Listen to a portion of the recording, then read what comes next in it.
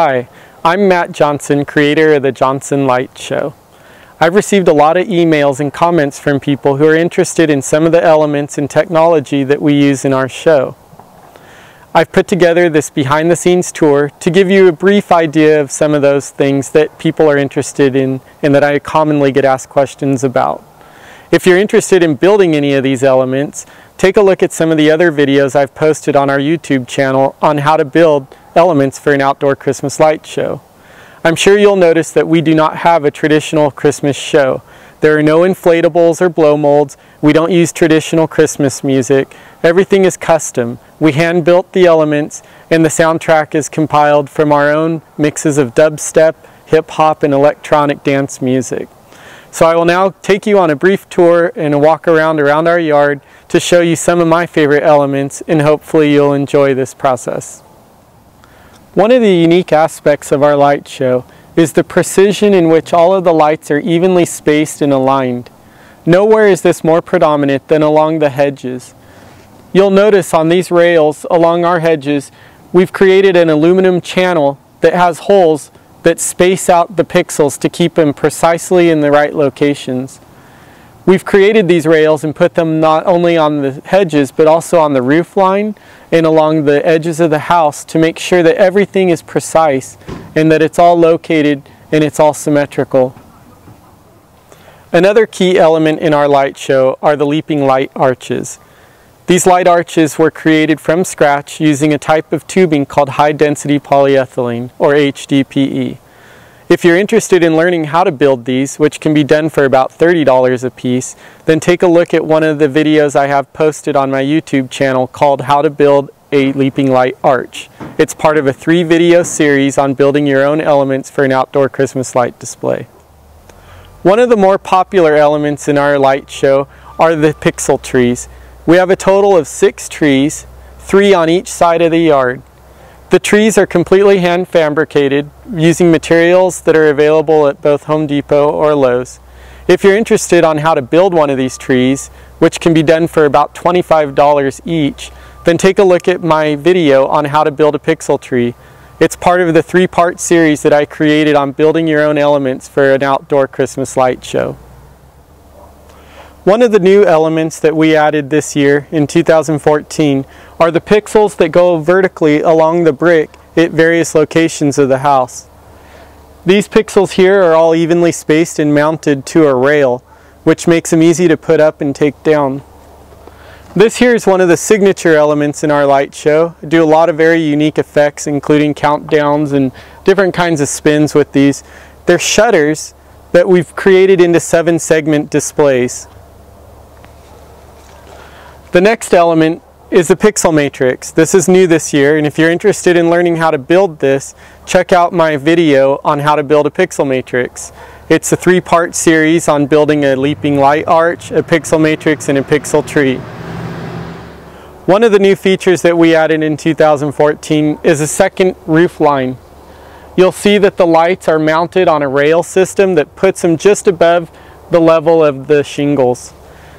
We have the lower lights that are mounted below and behind the fascia board, which allows them to be up year round. All I need to do is unscrew the diffusers and they're hidden behind the fascia board. One of the only elements in our show that still uses traditional LED lights are the wreaths. You'll notice that these lights are, they look a little bit different than the traditional pixels and next year we're planning to get rid of those completely and replace them with pixels. One of the new effects that we added in our 2014 show is a lot of outlines that go vertically on the brick of our house.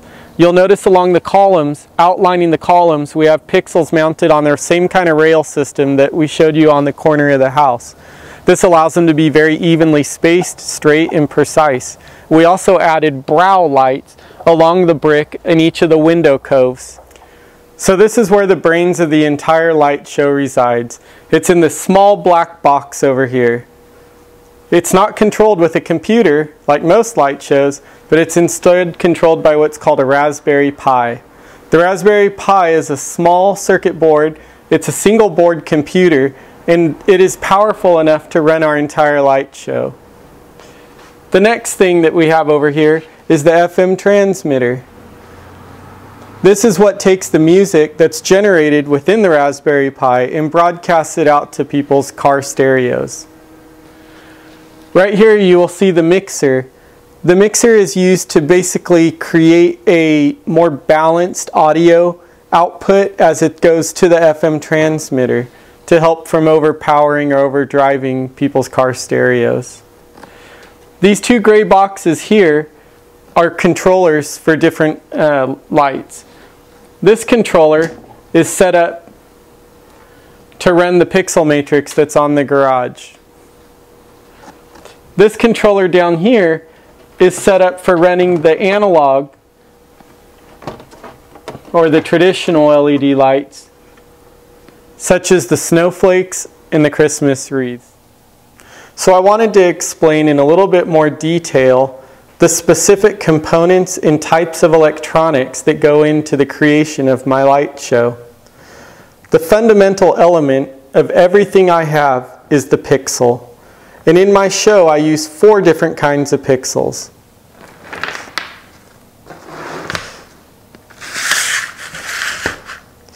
The first type is called a bullet pixel. The second is a square pixel. The third is a Technicolor pixel. And the last one is a surface mounted board pixel. The difference between these is strictly in the form factor and how it's used to mount. The electronics within each of them are the exact same.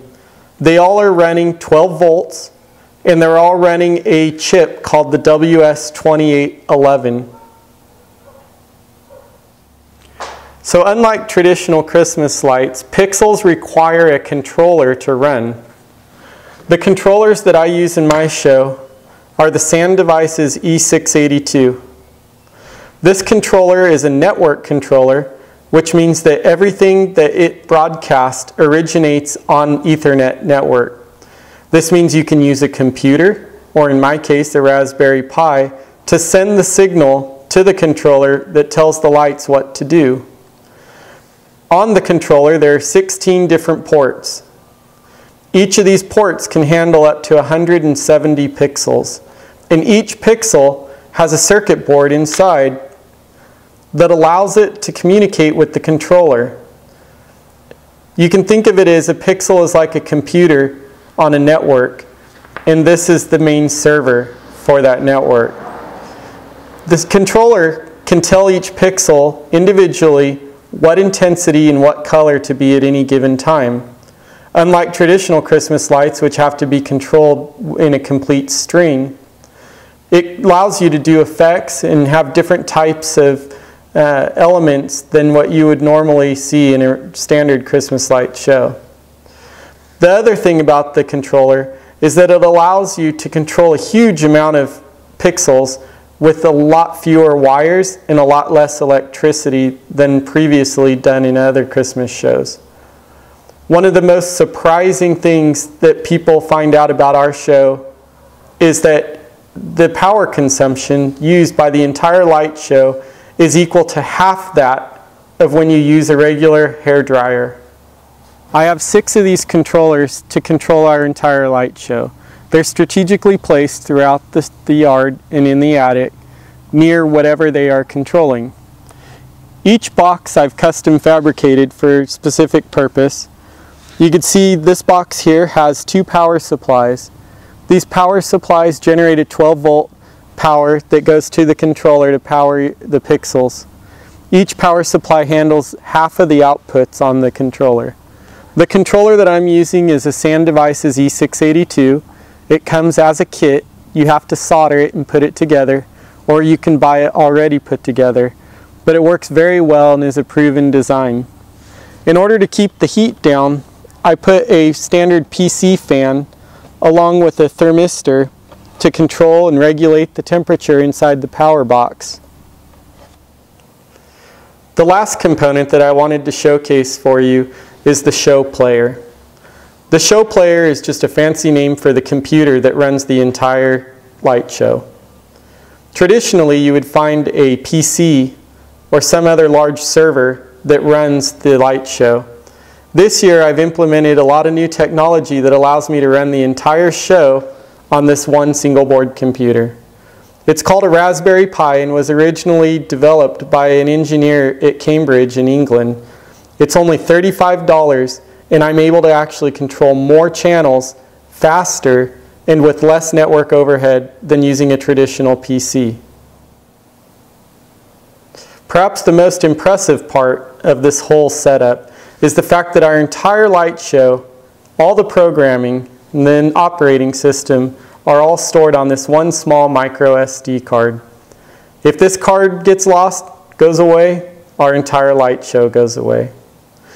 So with these basic components, the controller, the player, and the software, this is the entire brains of the light show. You have the pixels that connect to the controller. You have the controller that communicates with the player over the standard Ethernet network. And then you have the software that you've written in a sequencing program. The one I use is Vixen 3. And together this creates everything that you need to create a light show. Our light show uses six of these boards. Each of the boards is connected to a 12 volt power supply, which powers the, not only the lights, but also the controller.